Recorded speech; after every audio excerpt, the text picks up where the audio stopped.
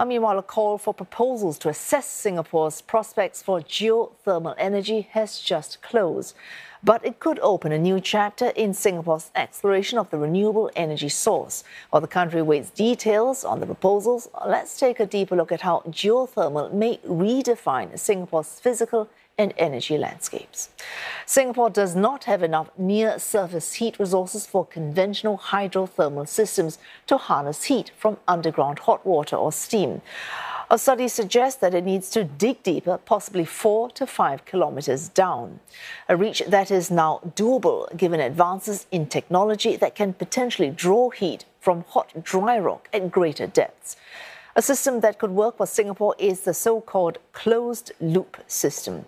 Our pipes are bored to a depth of at least five kilometers. A liquid is then sent down the pipes from the surface. As the liquid travels underground, it is heated by the surrounding rocks and earth. Or this is pushed back to the surface, boiling into a gas that can power turbines or generators to produce electricity. Earlier studies by Nanyang Technological University have already identified sites with promise, including one near Sembawang Hot Spring Park. Researchers have found that rocks in this area could generate, store, and transfer heat more readily. And here to share more is Professor Alessandro Romagnoli. Now, he's Cluster Director of Multi Energy Systems and Grids at the Energy Research Institute at NTU. Professor Romagnoli, let's pick up from what we just mentioned, that site identified near Sembawang Hot Springs Park. Now, I take it you co-led the study that identified this site. And one of the findings was you could actually boil, get, cook it, a soft-boiled egg at this site. Uh, again, that's in terms of longer-term use, sustainable use in Singapore. What kind of source of energy might that be? No, thank, first of all, good evening, uh, everybody. Thanks for having me here tonight. And also, well done on the short summary of how geothermal heat could be utilized in Singapore.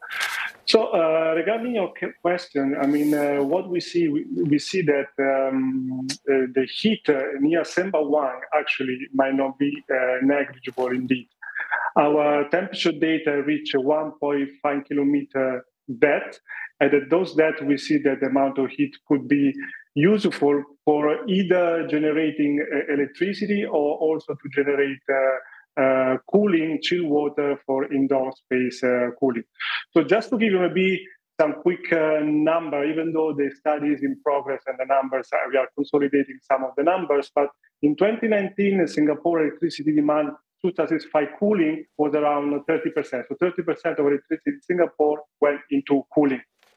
So if we wanted to look at geothermal as an option to satisfy part of this cooling demand, geothermal could potentially uh, serve a large chunk of that.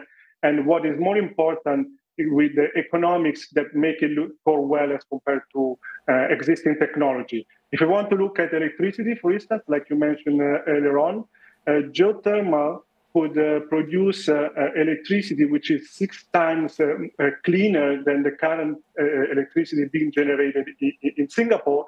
And for what it concerns the, the prices of this electricity, that would be well within the uniform Singapore energy price, which currently is around $300 per, per megawatt hour. So, I mean, overall, we see potential in a, in a number of areas for, for geothermal heat. And also we don't need to forget that geothermal is a constant base load uh, energy power supply with a lifespan of 20 to 30 years, which make, to me makes it very interesting.